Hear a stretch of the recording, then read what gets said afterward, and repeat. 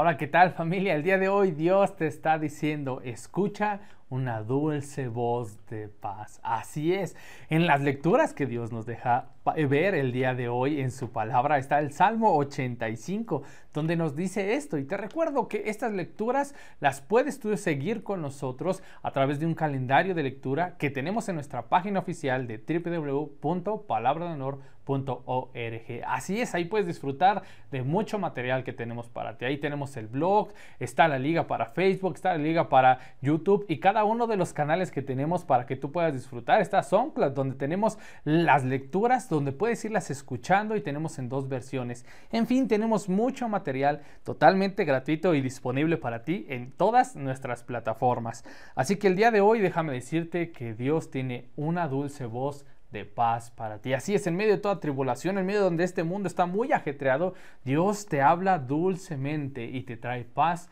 a tu corazón.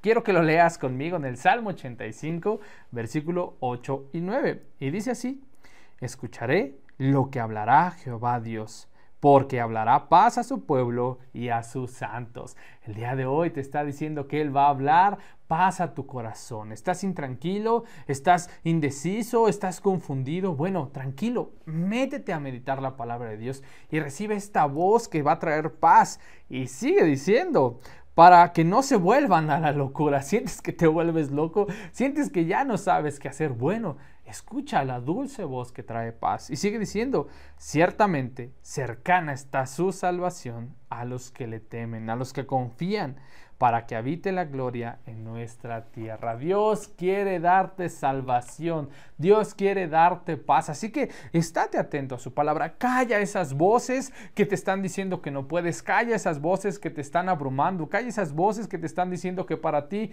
no hay salvación. Y comienza a escuchar la dulce voz de tu Padre que te trae paz, esa voz que te dice espera porque ciertamente hay salvación para aquellos que en mí confían y tú confías en Él, así que prepárate, alista tu corazón y comencemos a orar para recibir esta paz que sobrepasa todo entendimiento.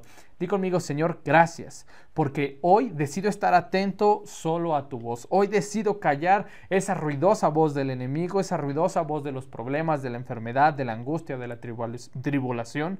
Hoy, Señor, yo escucho tu voz que me trae paz.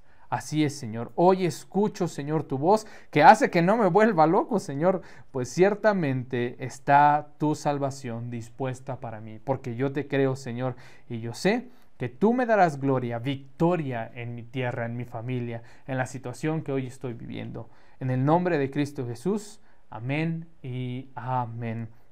Querida familia, prepárate, recibe la paz, recibe la salvación, recibe el gozo, recibe el milagro por el cual has estado creyendo. Nos vemos el día de mañana en una cápsula más y recibe la bendición de Dios. Nos vemos. Hasta luego.